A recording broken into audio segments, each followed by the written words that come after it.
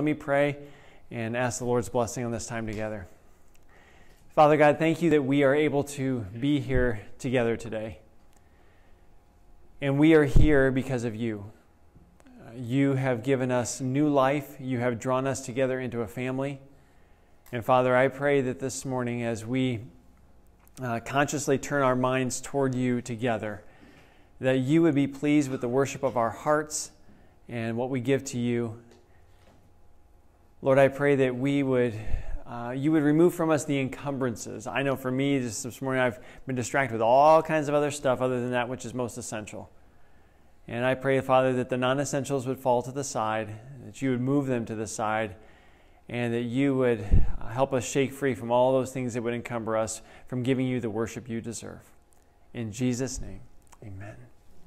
All right, well, let's prepare to worship in song together. Lift up our voices this morning and worship and praise. We're going to do some oldies but goodies this morning, I guess is what you might say. So if you would rise with us to start off with, uh, Unclouded Day, which it's a little cloudy out this morning. But uh, we're going to sing of that day when there's not a cloud in the sky. And everything is just, uh, the, there's a, natural sunlight that the Lord will give off and, and shine before us. And that unclouded day.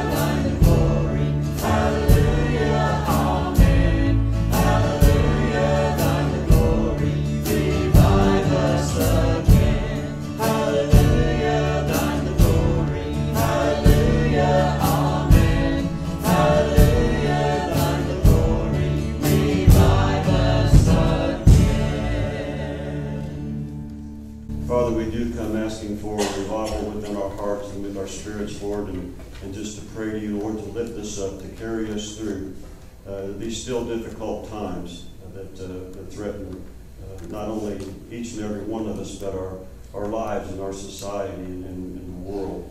Father, we do pray this morning, too, for, for those that uh, are lost and that need this revival, that need this resurgence in their soul and spirit. And these we ask and we pray through the name of Jesus this morning. Amen. You may be seated. It's our opportunity to pray together as a church family this morning.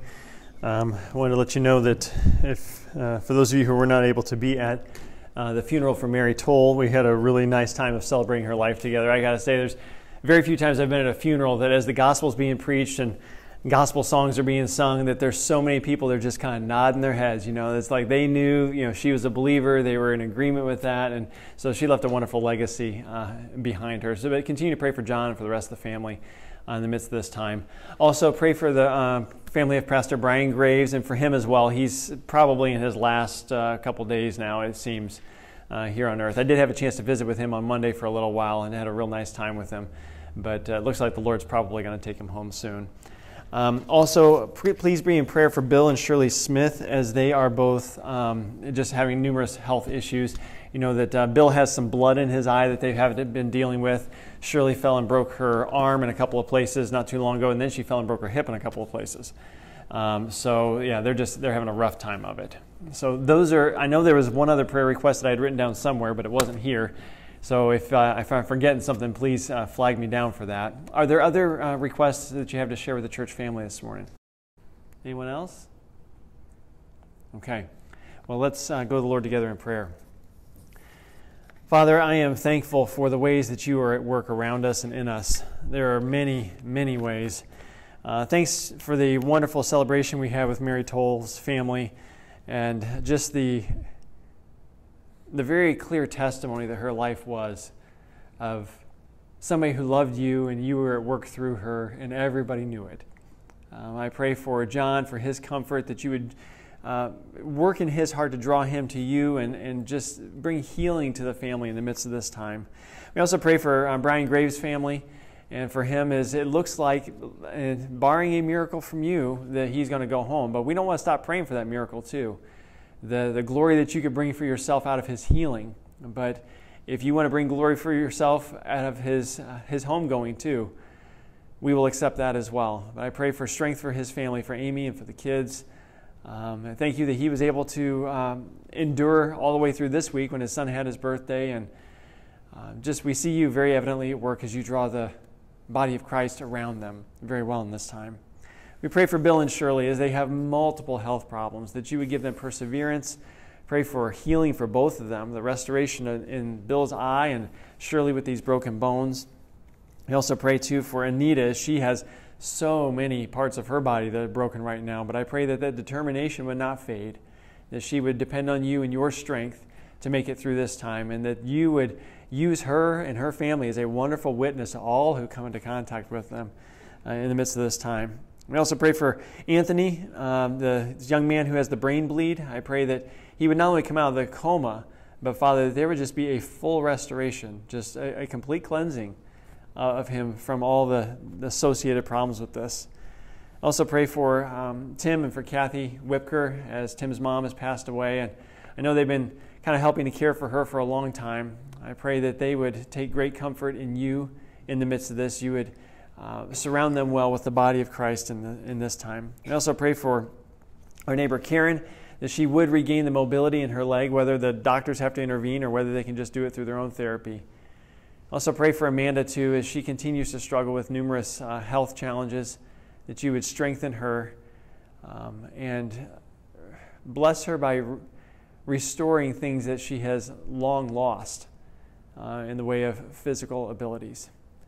Lord, our country is in amazing need of you, and we see it more and more all the time. I pray, Lord, for peace and civility. I pray for uh, the tensions around racism to simmer down. Lord, that in the midst of this political season, that you would very clearly guide us to the rulers that you have in place for us, the governing authorities, and that we would accept that as being from you.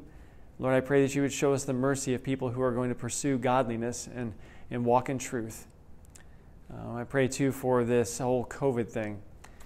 As it has struck us and it just seems to be clinging on, Lord, I pray that very soon you would rid this from us and it would be clear that it is by your hand. And Father, that last song, it just uh, really struck me that we are in need of revival. Your church, I personally am in need of revival as I've drifted this week. It has been a, a challenging week for me. And Father, you are making it clear that there's a lot of extra things in my life that are not necessary for me to fulfill the call that you have on my life. And Lord, I pray that for all of us, we would rid ourselves of that which is non essential so that we can throw ourselves fully into that which is essential. Father, this morning, as we look at the life and death of Samson, I pray that you would speak to us, Lord, and that we would learn to be those who walk in your Spirit. In Jesus' name, amen. Well, um, I was excited that I got something in the mail this week, uh, and I, I, think I actually have it in my wallet here that uh, I'm going to carry around with me for probably a couple weeks now. This is a coupon for a haircut for only $9. Okay? Yeah, yeah, great clips. Okay, that's where you typically go. I try and get the same person. She knows how to cut my hair real well. But normally I have to pay her 15 bucks, you know, plus the tip on that, which I'm like, seriously, just to cut my hair is that much. So I'm thrilled to get a $9, $9 haircut. So hopefully in the next couple weeks I'll be using that. And if anybody's got extra coupons, feel free to pass them along to me because I'll use them up for sure. But um, I, I thought, well, I wonder how much some people do pay for haircuts because I've seen when you go to like, you know, these – you know, professional stylists or individuals who work out of their home, you know, it might be even a little more expensive than that, you know, with 20 bucks for a haircut, 25. I found this guy and over and he was working in India, but he was like a celebrity haircut person. And he had this thing called the invisible haircut. Um, and I don't know why they call it the invisible haircut because I'm like, you should know that you've had your haircut. But anyways, $1,500 that some people would pay for a haircut at the peak of his career. Now, apparently, people have figured out how to do this haircut and it's not worth quite so much anymore, and he's sort of semi retired or whatever. $1,500 for a haircut. That is a steep price to pay. But we're going to find out today that that is nothing compared to Samson's haircut and how much that one cost. Not only what it cost monetarily, but what it cost him physically. So let's turn to Judges chapter 16. This is going to be the week number four on uh, our little mini series on Samson as we're walking through the book of Judges. And uh, I don't have anything up on the screen here, verse wise, so get out your Bibles. We're going to be primarily here. We'll hopscotch around to maybe a couple of other places. But I want to start out by telling you that this uh, sermon is not at all about haircuts. Okay? That was just the little intro to kind of set the stage. But these next few verses that I'm going to read you from the previous chapters on Samson are going to set the stage for what we are actually going to talk about this morning. So I want to start in Judges 13, verse 25. This is Samson's birth story, but the last verse it says, And the Spirit of the Lord began to stir him in Mahaneh-dan between Zorah and Eshtaol. The Spirit of the Lord began to stir him. Now look down in 14.6. The Spirit of the Lord came upon him mightily, so that he tore that lion as one tears a young goat, though he had nothing in his hand. He didn't tell his mother or father about it. Then go to uh, chapter 14, verse 19. The Spirit of the Lord came upon him mightily, and he went down to Ashkelon, killed 30 of these Philistines, and took their spoil, and gave their changes of clothes to those who had told him the riddle. And in verse, uh, chapter 15, verse 14, when he came to Lehi, the Spirit, uh, excuse me, the Philistines shouted as they met him, and the Spirit of the Lord came upon him mightily, so that the ropes that were on his arms were as flax that is burned with fire, and the bonds melted from his hands the Spirit of the Lord came upon him. Literally, the Spirit of the Lord rushed upon him. That is what Samson was used to experiencing in his life. Not necessarily constantly, but periodically, with some regularity, he knew what it was to have the Spirit of the Lord upon him and flowing through him with power. Now, some of you know the experience of having the Spirit of the Lord upon you with power. Probably not in the way Samson did. You're not tearing doors off of houses and hauling them up hills and you know killing a bunch of people to take their clothes like what Samson experienced. But you do know what it is to have the Spirit of the Lord speak through you. You know what it is to have the Spirit of the Lord upon you, giving you conviction and guidance. What it is that enables you to do things that you would not normally be able to do and to see them gain positive results. I'm hoping you have experienced that in your life. I have, certainly. Do I experience it constantly? No. Well, this morning we're going to look at maybe why that is that we sometimes experience it and we sometimes don't. And we're going to see a little bit in the life of Samson here um, about what it is to have the Spirit of the Lord upon you and what it is to have the Spirit of the Lord not upon you. Okay? So let's start in chapter 16, verse 1. Samson went to Gaza and saw a harlot there, and he went into her. When it was told the Gazites, saying, Samson has come here, they surrounded the place and lay in wait for him all night at the gate of the city. And they kept silent all night, saying, Let us wait until the morning, and then we will kill him. Now Samson lay until midnight, and at midnight he arose. He took hold of the doors of the city gate and the two posts and pulled them up along with the bars. Then he put them on his shoulders and carried them up the hill to the top of the mountain, which is opposite Hebron. Okay, now here we're seeing Samson's got this consistent problem with women, specifically Philistine women. Okay, he had um, a, a, wife, here it's a, a prostitute, and we're going to see there's another one that comes along. He's got this, this addiction, really, to these Philistine women. So he goes into enemy territory. Gaza is about as far away that you can get from his house and still be in Philistine territory. What he is doing there, I don't know. Why he is spending the night there, it seems absolutely foolish because obviously he is a marked man. He's on the PBI, the Philistines Bureau of Investigation Most Wanted list. They know he is there and he is a marked man. They are going after him. But what does he do? God gives him the, uh, the power to take the gates of the city, okay, large wooden doors, probably studded and fixed with metal fixtures on there. The doors, the posts, the, the bars across it, he lifts them up and he, he just rips them right off the hinges, takes them out, you know, out of the foundation, out of the city, and it's a little unclear whether he carries them all the way the 40 miles to Hebron or to a hill that's outside that, or if it's just the hill that's outside of town here that's on its way to Hebron. Either way, this is a supernatural occurrence that happens.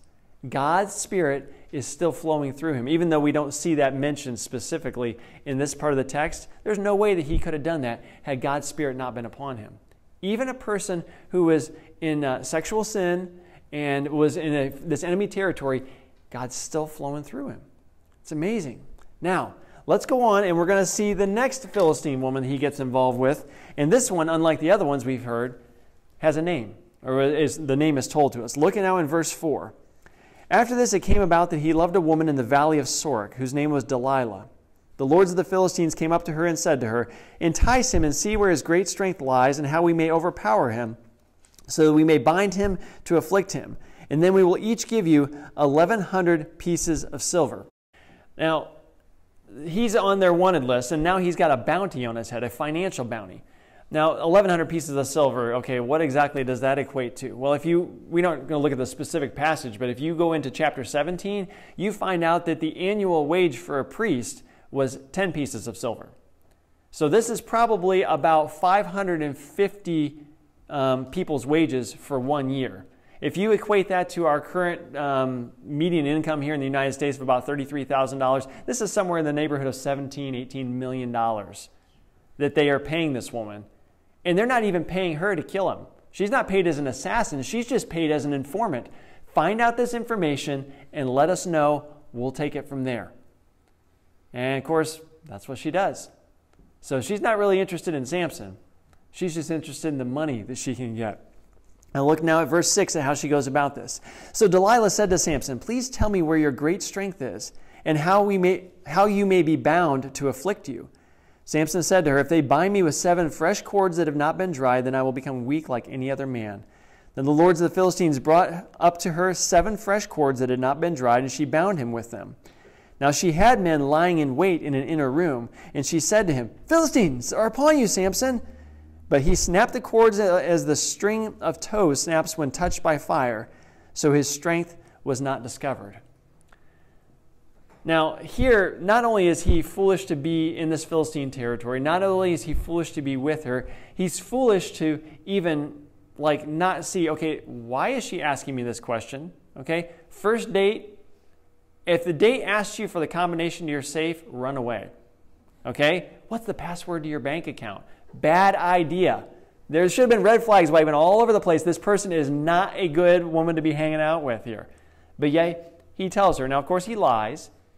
And interestingly, here, remember he's a Nazarite. He's not supposed to have contact with dead things. These cords, these are not like woven strings, these are sinews from an animal.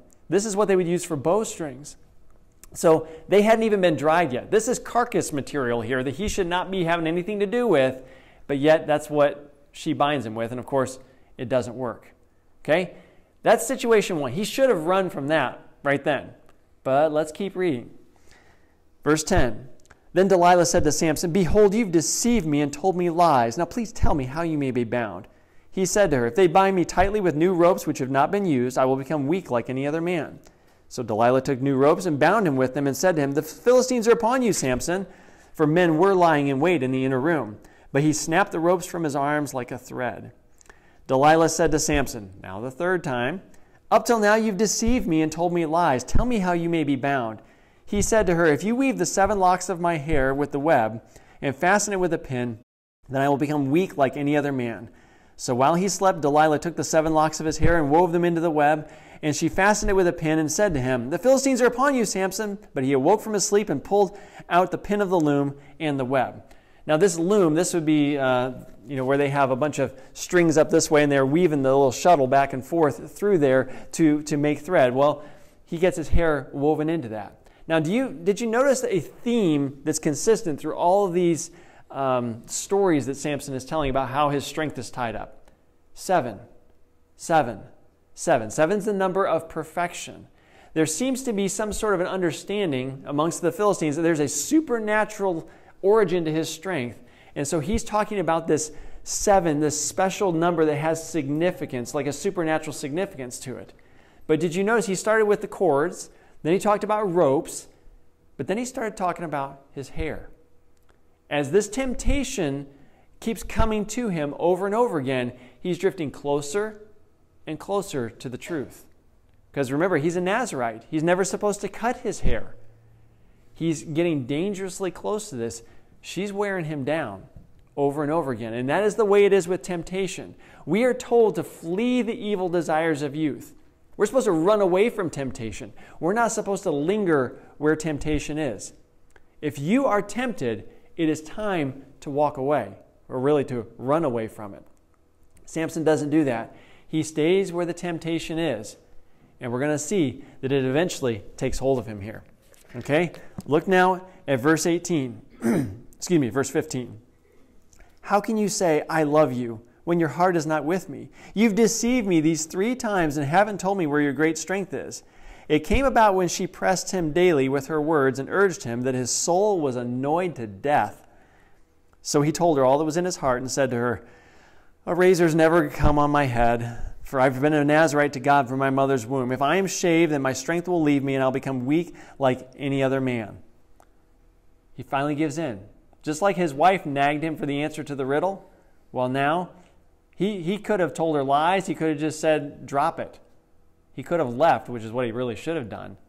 But he finally gives in and he tells her the secret. Well, when Delilah saw that he had told her all that was in his heart, she sent and called the lords of the Philistines, saying, Come up once more for he has told me all that's in his heart. Then the lords of the Philistines came up to her and brought the money in their hands. She made him sleep on her knees and called for a man and had him shave off the seven locks of his hair. Then she began to afflict him, and his strength left him. She said, The Philistines are upon you, Samson. And he awoke from his sleep and said, I will go out as at other times and shake myself free. But he did not know that the Lord had departed from him. This is a scary, scary verse. He didn't know the Lord had departed from him. Now, I want to look at this verse, verse 20. This is the central verse that we're going to focus on today. We'll finish out Samson's story in a minute, but I want you to zoom in on verse 20, and we're going to look at it in four parts. Okay? The first, she said, The Philistines are upon you, Samson. Why should that be any surprise?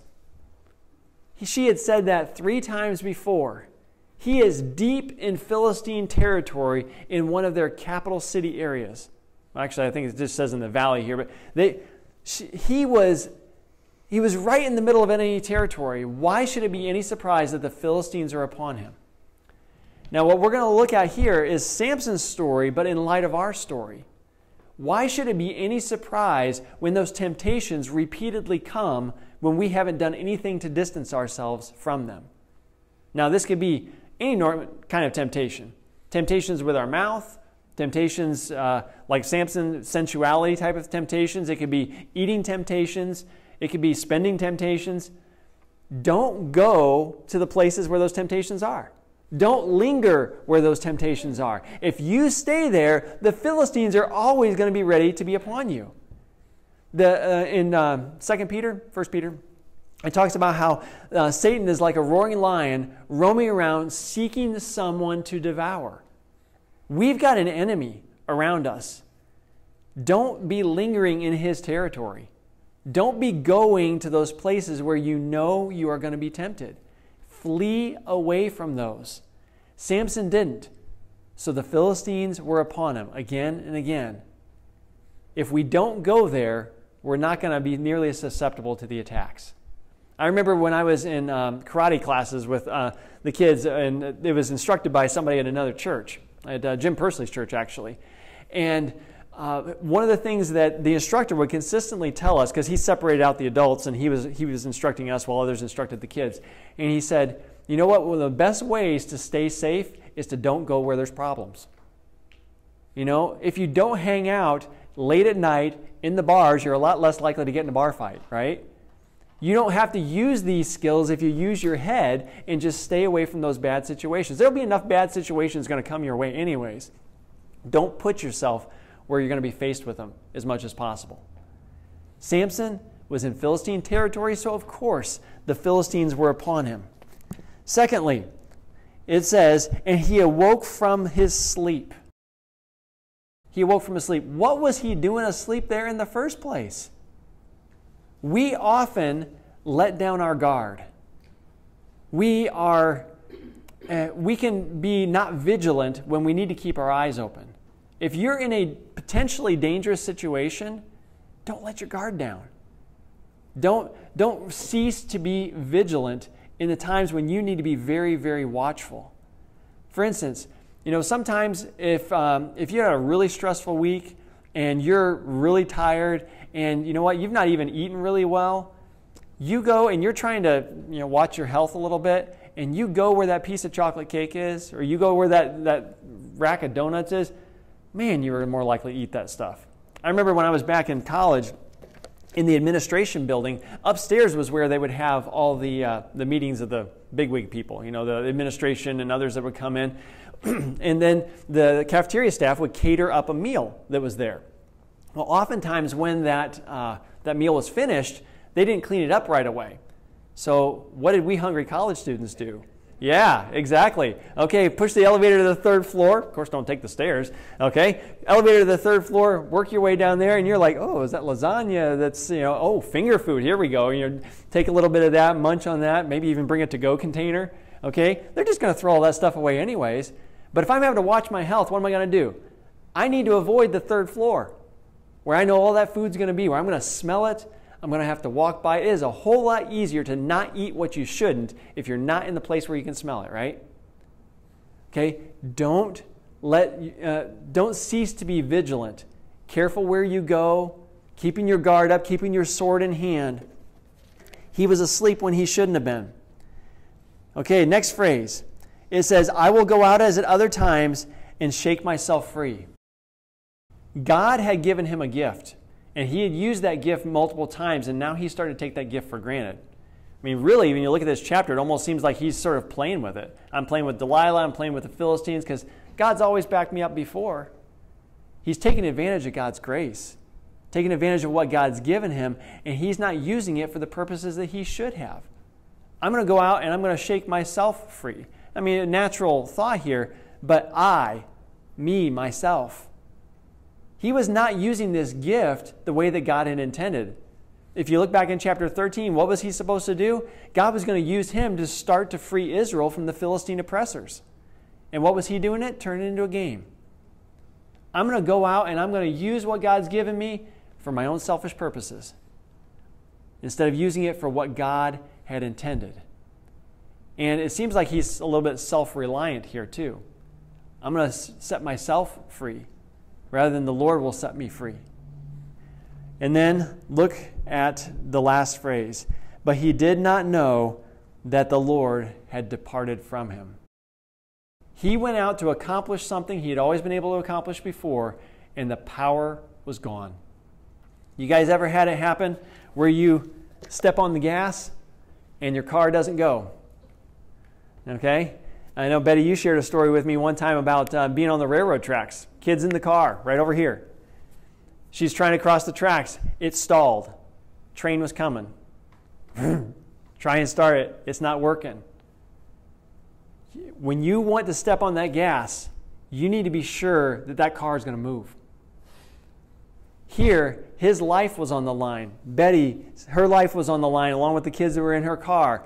You step on that gas, you turn that key, that power better be there. If it's not, I'm gone. Here, he depended on the Lord's power, and the power was not there because he had forfeited it through his sin. God has power for each one of us to accomplish his will, to do his work, you know, to keep ourselves safe, to keep other people safe, to serve others, to advance his kingdom. And if we're going to play fast and loose with that, if we're going to dabble in sin, what we do is we short circuit that power.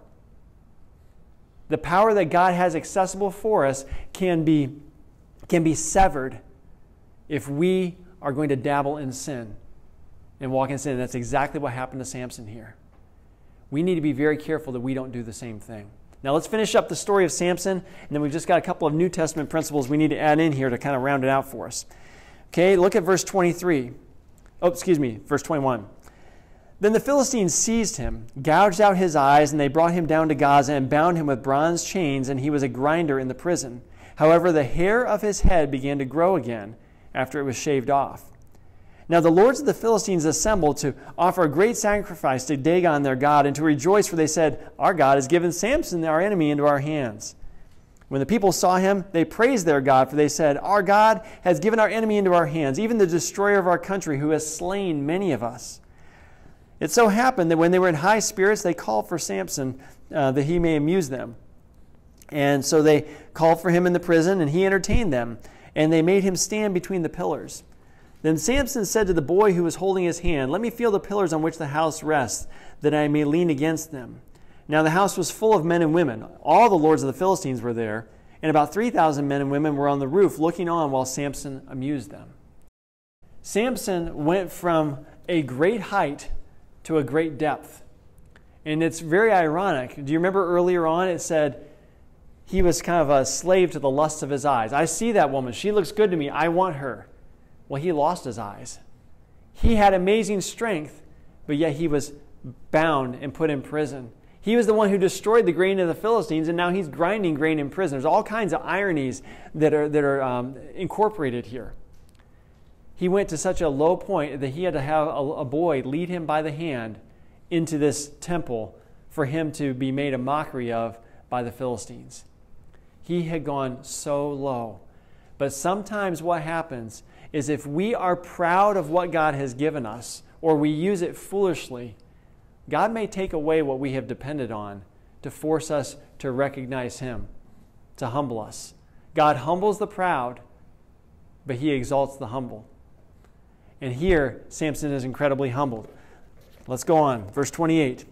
Then Samson called to the Lord and said, O Lord God, please remember me and please strengthen me just this time, O God, that I may once again, excuse me, that I may at once be avenged of the Philistines for my two eyes. He calls on God here. And whereas before, we didn't even see God being kind of a part of his life early on until he was thirsty, and then he called out to God, and he just kind of used it a generic term for God. Here he actually uses God's name Yahweh. I'm calling out to you. He's been humbled. He's turning his spiritual eyes towards the Lord. Verse 29 Samson grasped the two middle pillars on which the house rested, braced himself against them, and uh, the one with his right hand and the other with his left. Samson said, Let me die with the Philistines. And he bent with all of his might so that the house fell on the lords and all the people who were in it. So the dead whom he killed at his death were more than those whom he killed in his life. Then his brothers and his father's household came and took him, brought him up and buried him between Zorah and Eshtaol in the tomb of Manoah his father. Thus he had judged Israel 20 years. Samson killed more in his death than he accomplished in his life. But how much would he have been able to accomplish with his life had he not strayed from the Lord? Had he not let himself be lured away? God will accomplish his will through you, but it might be in spite of you or it might be in partnership with you. We need to make sure, I want to make sure that my life doesn't come to an epitaph like this at the end. You know what? His death accomplished an awful lot, a lot more than he accomplished in his life. Samson did some great stuff, but how much more could he have done had he been walking consistently with the Lord? Now, in verse 19 and 20, back up to those. You know, we talked about earlier that it says the Spirit of the Lord rushed upon him, rushed upon him, rushed upon him. I want you to see a couple words here. It says at the end of verse 19, his strength left him, his strength turned from upon him. Literally, is what it says. And then in verse 20, he did not know that the Lord had turned from upon him. Literally, is what it says. That word upon. He did not realize that what had been upon him was no longer upon him. Now, we know in the New Testament times, post Pentecost, okay, at Pentecost, what happened? The Holy Spirit came and began to indwell the believers. In the Old Testament, the Holy Spirit would come upon somebody for a period of time and then would depart, would come upon and would depart to accomplish specific tasks. But in the New Testament, Holy Spirit doesn't come and go. When you give your life to Jesus, the Holy Spirit comes and lives inside of you. Okay? Romans chapter 8. Let's turn there. Because you have to understand this about the Holy Spirit. Because the same Holy Spirit that empowered Samson is the same Spirit that empowers you. Okay, Romans chapter 8, and I'm going to start in verse 5. For those who are according to the flesh set their minds on the things of the flesh, but those who are according to the Spirit, the things of the Spirit.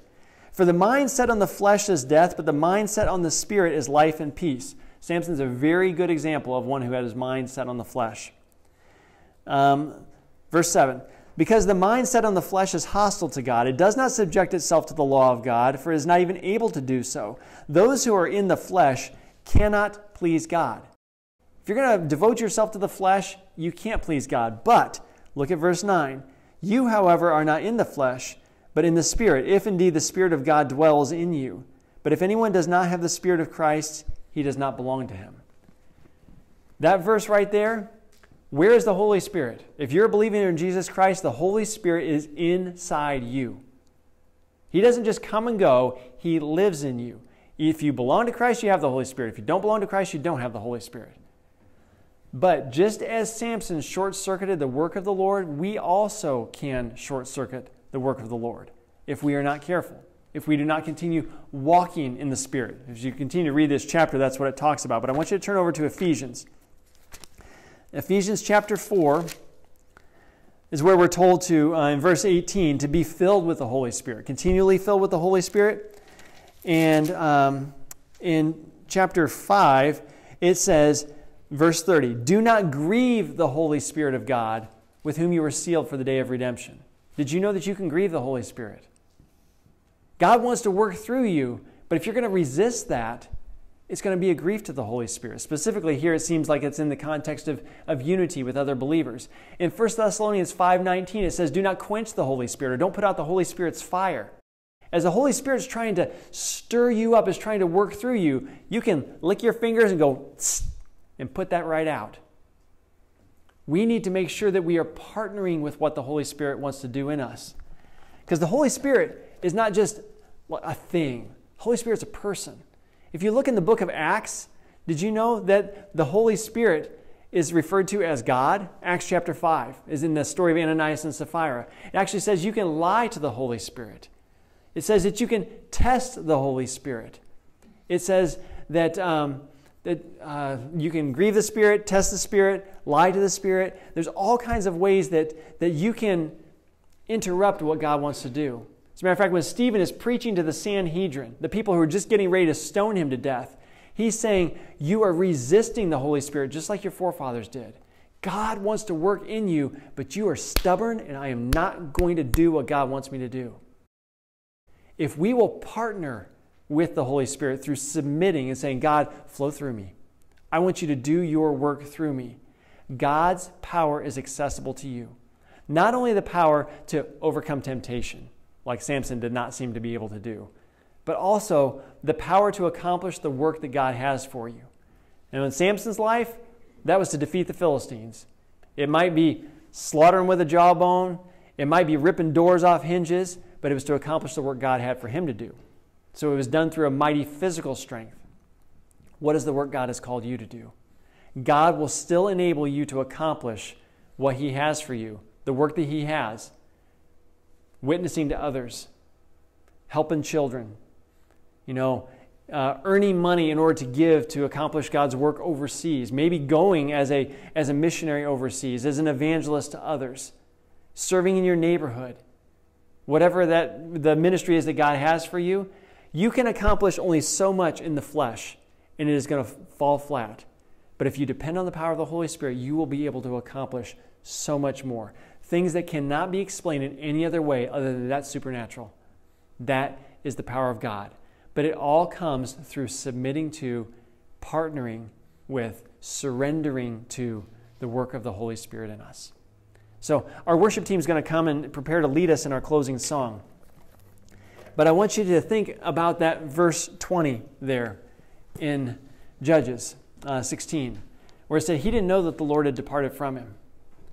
Now, we know if you're a believer in Jesus Christ, the, the Lord is in you, He is with you. He is abiding within you, but are you abiding in Him? Are you submitting to Him? Are you seeing God's power flow through you?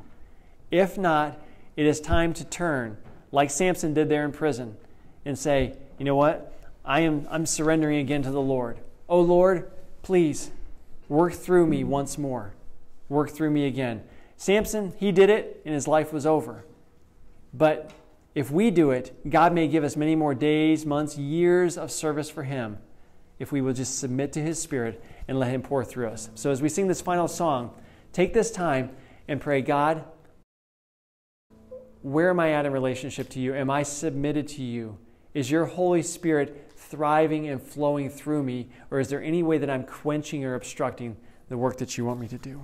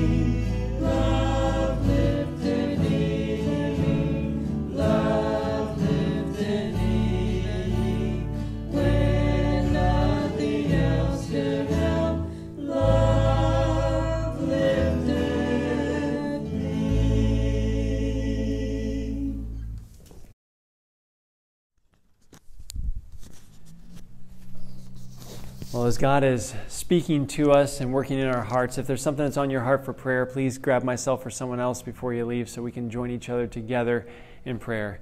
May you make it a great week of walking in the Spirit.